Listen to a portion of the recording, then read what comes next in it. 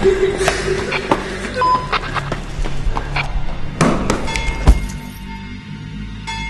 Father who art in heaven, hallowed be thy name.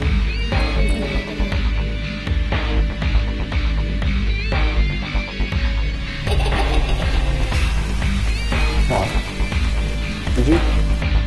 Well, this place was a working convent run by the Sisters of the Good Shepherd back in the day.